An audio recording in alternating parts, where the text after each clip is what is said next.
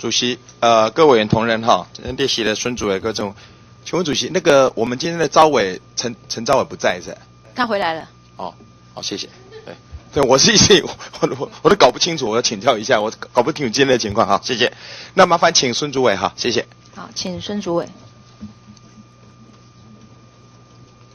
委员长，哎，主委你好，对，教育部的繁星计划你知道吧？我知道。那请问，我们今年度的教育部全国的繁星计划，我们原住民的同学在大学联考的这个区块当中，繁星计划录取了几位？呃，应该是一百呃，有三一百三十二位去报考了哈。一百三十二报考。那个那个，他的录取率是呃百分之九十九十以上。